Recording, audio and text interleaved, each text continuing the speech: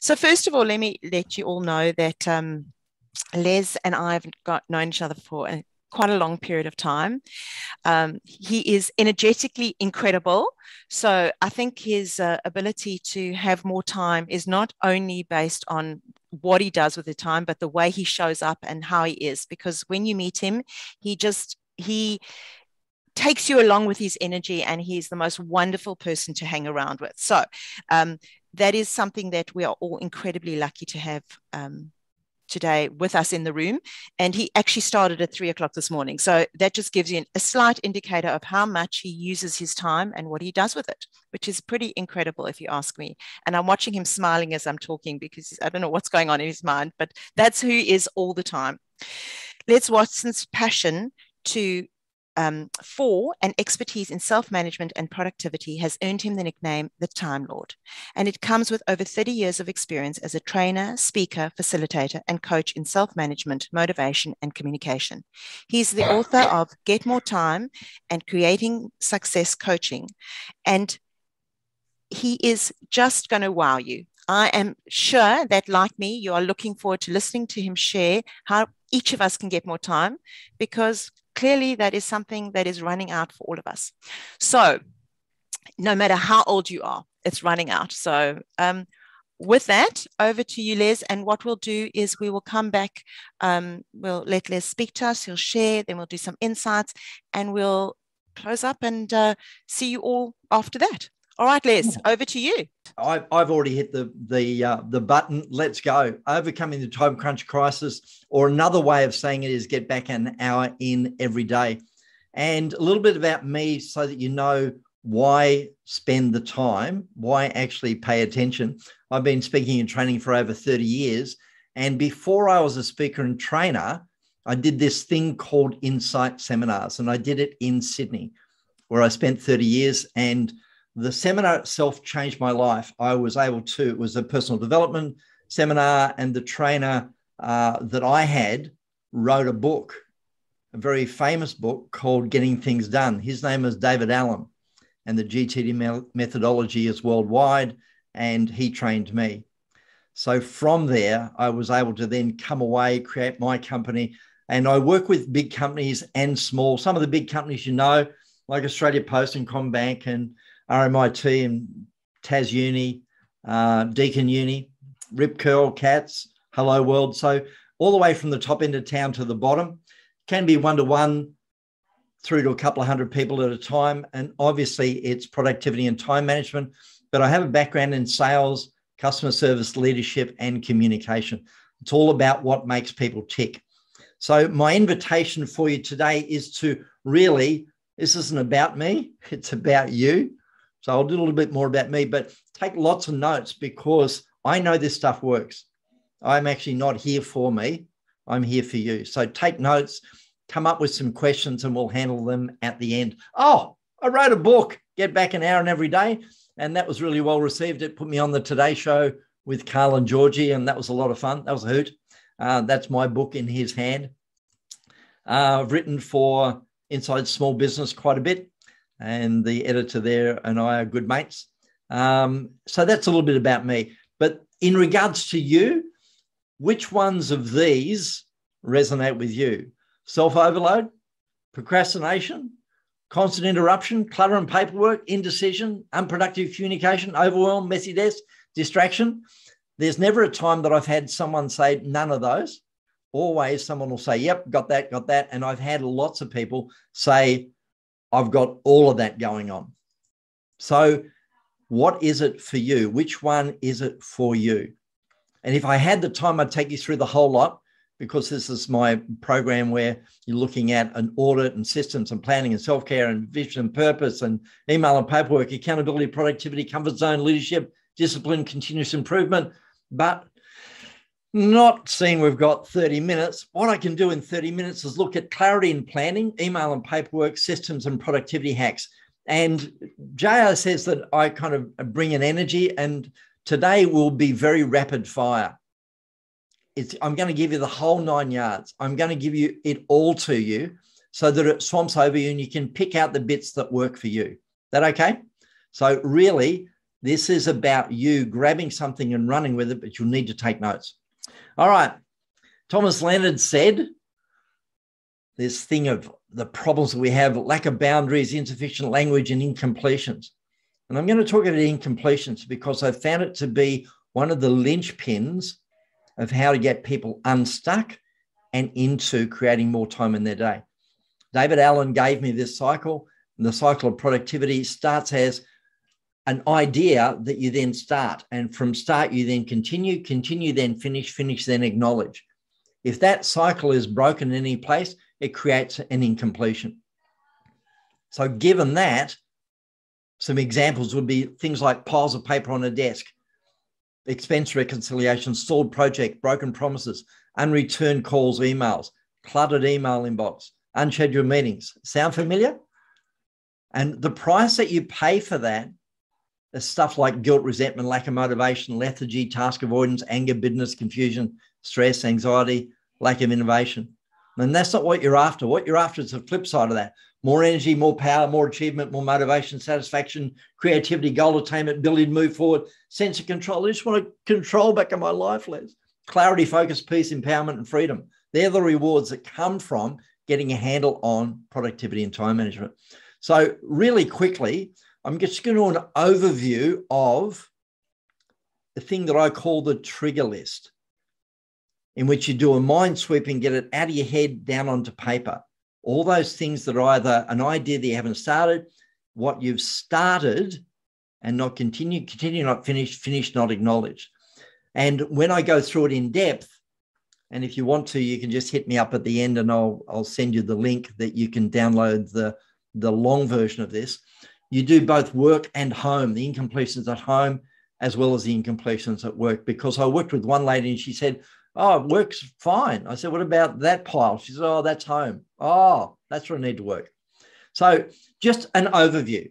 I'm not going to go in depth, but things incompletions like what projects have you got that you've started but not completed, or projects that need to be started? What's on your desk? What's around your desk? What's on the floor? Messy desk drawer? Any incompletions around people or communications? Anything around meetings that need to be set, scheduled? planning, long term planning, short term planning, sales and marketing. And that list, I normally spend about 10, 15 minutes just on that list alone. And then you would be able to, you can bring some of those to mind. Bring some of those to mind. It's like, yeah, I got an incompletion there. I, yeah, I got that idea. Yeah, I must do that, whatever. And then from there, go home. Go on, go home. So from the home list, exactly the same thing happens. Are there projects that you've started and not completed? Are there promises you've made to other people at home that you haven't acted on, you haven't um, followed through with? Are there things you've borrowed and not given back? Have you things that you've loaned out that haven't come back? They're incompletions. Anything around the house, and there's quite a large one to do around the house, so hit me up for that link. Anything around health and fitness that's incomplete. Anything around finances that's incomplete. So once you do that, you get it out of your head down onto paper. When I spend 10 or 15 minutes on it, the normal thing that happens is people say, Thanks, Les. I'm in overwhelm now. I was fine when I walked in here, and now I feel like crap. It's like, well, wait a minute. I actually didn't do it to you. All I did was drain the swamp. All I did was bring to mind those things that are already sitting on your shoulder and in your unconscious that go, what about me? What about me? What about me? What about me? And you've taken it from the back of your head out and down onto paper. So those things are already there. And I'm not going to leave you there. So the, the two keys to do with this first is categorize. So are there things on your list? JR, JR, trust me, it's been on the list for 12 years. Are you going to do it? Why don't you just delete it? Oh, yes, but I really like it, Les. No, I think you need to let it go. So, are there things on the list that you need to delete so you can get rid of some? And then there are less than two minute jobs. Then there are single action items, projects, and non business critical. The less than two minutes, you're getting stuff done really quickly. The single action items are more than two minutes and not a project, and projects are more than one action. The non business critical is stuff like, well, I want to go to Egypt or I want to go to Japan or I want to take a combi van up the east coast of Australia. That's not today, this week, this month, actually not this year. It's down the track and you take it out of your head, put it on a piece of paper. When you do your planning, you come to that and add those things in. So categorize is one thing. And then that stuff that you got out of your head down onto paper, you can put in context. Are there things that you do in a context of home? Therefore, when you're at work, and again, a lot of us work from home, but the differentiation between working at home and being at work, or maybe it's an incompletion with a client as a context. We've all got them called the shopping list at the supermarket, at the chemist, or at Bunnings, whatever it might be. So contextualize your list so it becomes when I get to that context or that place, I'll be able to do that action. The other thing that happens is once you get it out of your head down onto a piece of paper, the question on the table is this where does that piece of paper live? And I say it needs to live in what is called a trusted system. And I don't mind if it's paper based or app based, doesn't matter to me. But it's got to work for you. And I have had situations where a woman, an executive, turned to me. She said, Are you giving me permission to go back to paper? Uh huh. She said, Oh, thank goodness these apps don't work for me. So don't get stuck in a methodology that doesn't work. Try something else. So she went out, bought herself a paper planner, came back, and her productivity went through the roof. Why? Because she was doing what worked for her. I'm just going to do a real quick overview of what a paper based planner would look like, and then I'll do something on app based as well. So, the secret of your success is determined by your daily agenda. That is my daily planner. It has my appointments on it, my tasks, and on the right hand side are some notes that I make whilst through the day. So I can see exactly what's coming up and the tasks I need to do. One of the keys that I say to people is stop putting 40 things on your task list. You're not going to get them done and you get resentful because you have to transfer them over every time. Put everything on a separate list and only bring three to five major things onto your task list per day. If you get them done, then great, bring some more in. But don't think you have the time or the energy to do 40 unless they're 42 minute jobs not 42 minutes, but 42 minute jobs. The other one on tasks is doing A's and B's. Prioritization is really simple. It's either an A or a B. An A is if it doesn't get done, the round, the brown smelly stuff is going to hit the round twirly thing. And no one wants the shit to hit the fan, so get it done. Things like if you don't get a contract done, you lose a client or you lose money or you lose reputation. That's an A. Not paying a bill costs you extra $150. That's an A. Everything else is a B. Will some of the B's turn into A's tomorrow? Yes, they will. Is that okay? Yes, because do what you need to do today. Let tomorrow be tomorrow. So prioritization, very simple, but very powerful. Now, the back of my planner has areas of responsibility, and these are some areas of mine. So you've got get more time, You've got invoicing, marketing, entrepreneurs Geelong, fitness, personal, finance, talk e-commerce and tourism, and church, Cardinia. If you put them all together, they look like that. They are the tabs in the back of my planner. Yours are yours, and the things that are that are relevant for all of us are those top ones on the right hand side, which is finance, personal, and fitness. That should be on everyone's. But the thing about having an inner planner, I can go to any meeting and take notes and it's in one place. It's in a trusted system. So you can ask me questions about meetings and it'll be in one place. I can brainstorm, it's in one place. All my notes are in one place. So maybe you use something like that. Maybe you don't. Maybe you'd like to. Um, people ask me, how do I do those areas of responsibility? I just do a mind map. You put areas of responsibility in the middle, and that's a, a latest one for me. You've got get more time, creating success coaching, BBG, writing, fitness, finance, personal, connect group, and marketing. They are relevancy right now. And I did that uh, just as a mind map. And you can do it whether it's freehand or in a particular uh, application. So, what are your areas of responsibility? Have you segmented them? Because 15 to 20 doesn't work. That's where overwhelm comes in. All right. And there are those people that say, oh, Les, we've moved on from paper. We're an app person now. And I go, that's fine too. You can be an app person. What are you using? AnyDo? Asana, Centrallo, EasyNote, OneNote, Google Keep, Trello, Remember the Milk, Evernote, OmniFocus, Todoist, things. oh, so many apps. Which one works? The one that you work. The one that you work will work, but you've got to work it. There is no perfect app. There just isn't. I've not come across one. One that works for a lot of people is OneNote. Why? Because it resembles a planner where you've got a, a notebook at the top there, and they're on the left hand side.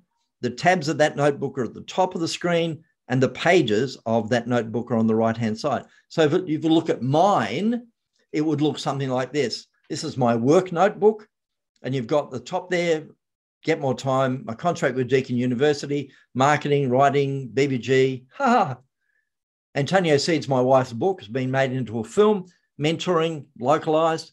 And those pages on the right hand side relate to the top with Get More Time. So that's a way of doing a planner type, a segmentation of work in an app. Now, one of the biggest killers and a lot of people is email and paperwork. It's like, oh, so tough. Well, let me give you an example. Dale came to a public seminar and he did the, the workshop and he came up to me and said, I think I need a one-on-one session.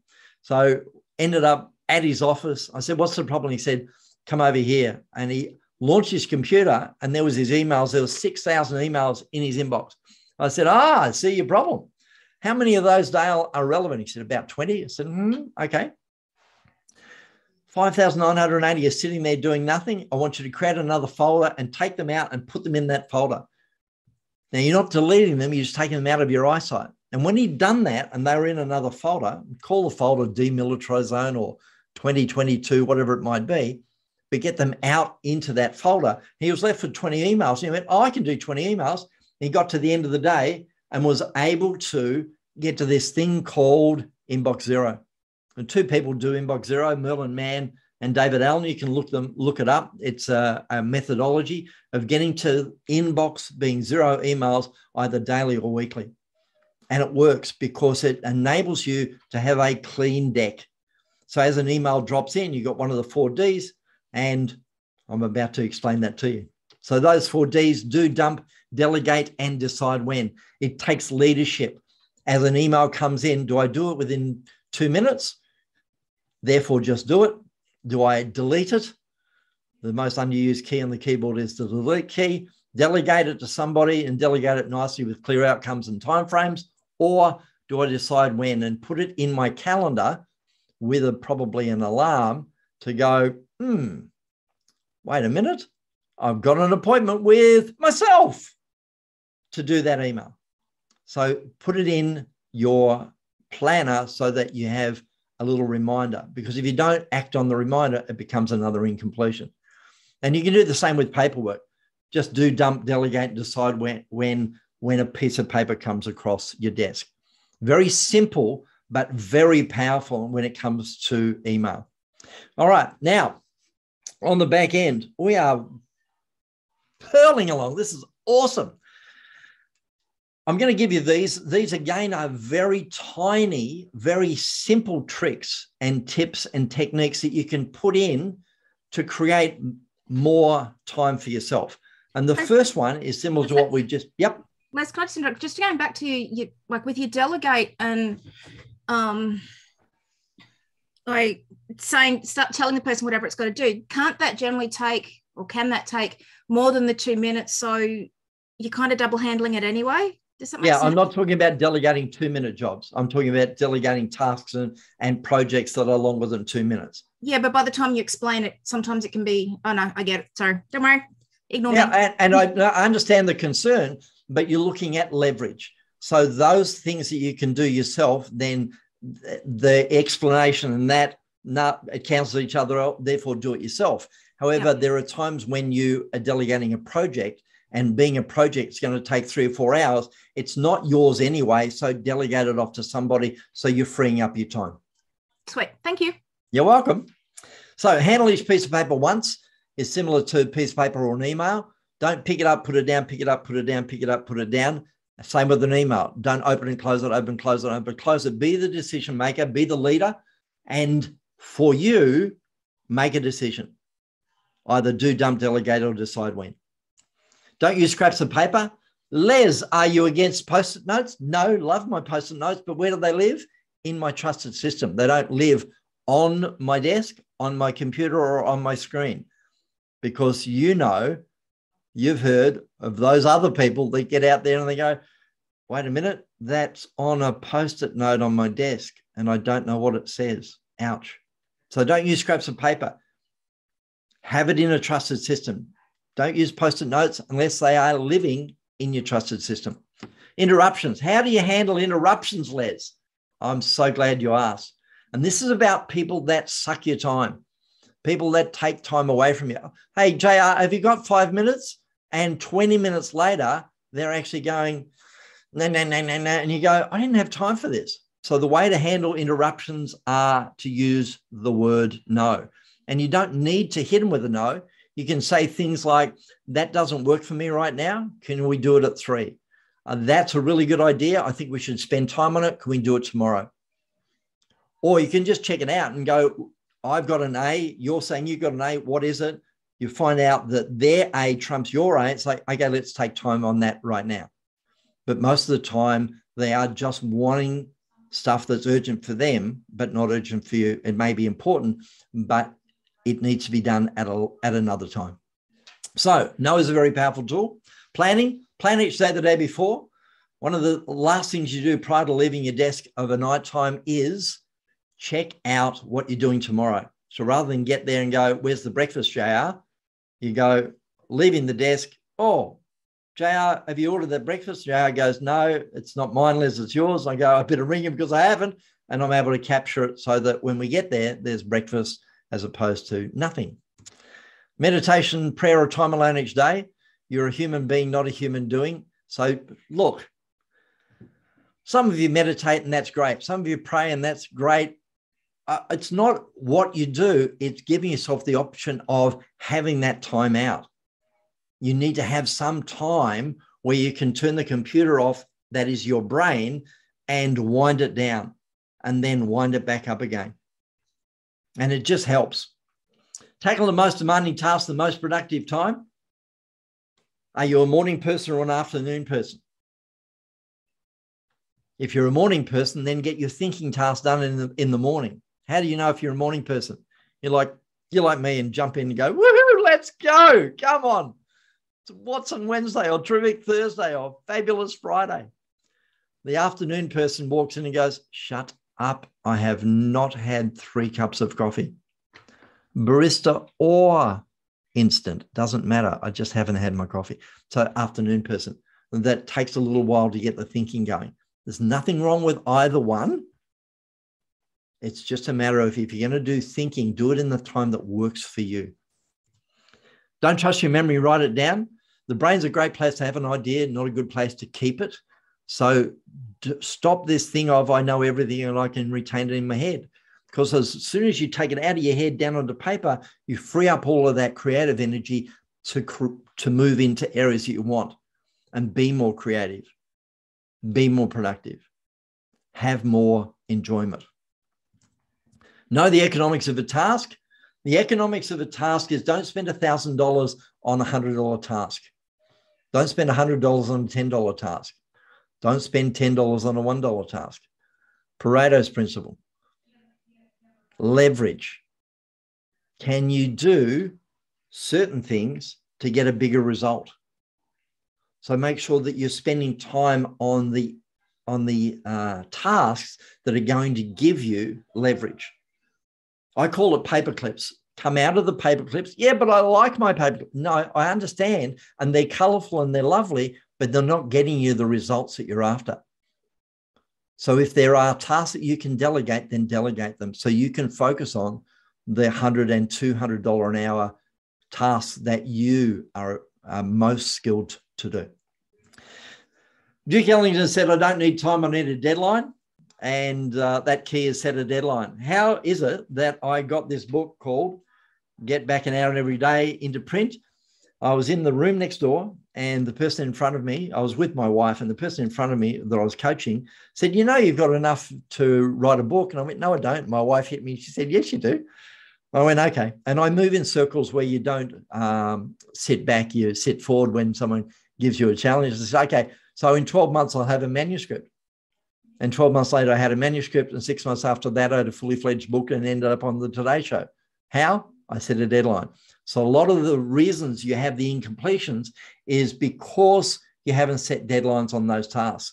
So maybe you can go back and say, what can I get done by the end of today? What can I get done by the end of uh, tomorrow? What can I get done by the end of next week, end of the month, end of the quarter? Meetings. Start your meetings on time, finish your meetings on time, and have an agenda. I do a big uh, module on this in my program because it takes a lot of energy with people. It's a lot of wasted time as people come in late and people don't leave on time. It's like, oh, I've got another meeting to go to. You lose people, particularly if you don't have an agenda. So start your meetings on time, finish your meetings on time, have an agenda. And the last one is clean up from last week, the weekly review. It's a, it's a, just a really simple one, but very powerful. Where if you're on your own, your weekly review can look like what worked this week, what didn't work this week, and what can I do better going forward. If you're in a team, you can do that. I actually have a dashboard where I look at these things. So income, the bank balances, what I've invoiced, the outstanding invoices, proposals, etc., etc. And it works for me because I can share that with my wife, my business partner, and I can go, here's what happened this week. And she doesn't even need to be in the office, but she I am being accountable with this dashboard. My weekly review enables me to see what's happened. And also we then swap diaries and I'll look at her diary and so what's coming up. She'll look at my diary and we'll talk about the things that are coming up and what we need to prep for. So there's the weekly review. We are on track. So I can, again, I can do a three-hour session, and I think I got through that in about 16 minutes. Um, I've got a couple more things I want to give you something at the end here, um, but make sure you you've got those questions because um, I will answer that as we come off. Uh, just what do you if you did get back an hour in every day? What do you want to do with it? Is it to have more joy, or balance and peace, or is it happiness, or maybe it's just world domination. Because the thing that I wanted to talk to you about was I do have a program. It's called the Creating Success Program, and success is very individual. So, so, when you're looking at coaching, a good coach can change a game and a great coach can change a life. It's all about better systems, faster execution, and more profit to make business easy. Could be making sales easy, making service easy, making profits easy, whatever it might be. So it takes it through the 12 modules from audit, systems, planning, marketing, sales, email and paperwork, customer service, productivity, self care, leadership, discipline, and Kaizen, which is continuous improvement. And it's a three month program that has accountability and support. A clarity session with me, weekly coaching sessions, or twice weekly if you choose. And there's daily content in an online platform with over 90 six lessons explored, discussed, and appropriately actioned. So the 12 modules are there. And just to give you a, each of them are supported by video content that's not just written. So the 96 videos. And there's one on email and paperwork. There's another one on productivity. It's about 13 in there. And there's one on leadership. It's got 14 in there on leadership, which is each of them are about two, two or three minutes each. Some of them a little longer but um, they're very digestible. So just to talk to you a little bit about it, and then I'll I'll wrap up. Three month program. If you were to have the one to one, it'd be two hundred and fifty with me. Each session is about hundred dollars. There's thirteen hundred over the three months. The ninety six lessons of fifty bucks a pop would be four thousand seven hundred and ninety five. If you add it all up, it's over six grand. It's on the website as five grand, but as a BBG, and I gave this the other day when JR was in the room. For BBG, it's only 500 bucks. So it's a 90% discount. And, and JR hits me over the head and goes, Les, you can't do that. You can't give it away for 90% discount. I said, JR, I can do whatever I like. So if you'd like to take me up on it, I'm happy to uh, to talk to you about it. If you've got a phone, you can bring your phone out and you can take like your photo of that and then go to the website and fill in your details because we can have a conversation. So if that st- triggers inside of you, I'd like more to know more. I'd like to have a conversation as to uh, what it is, or I'd like to take you up on that 90% discount. I think we should work together.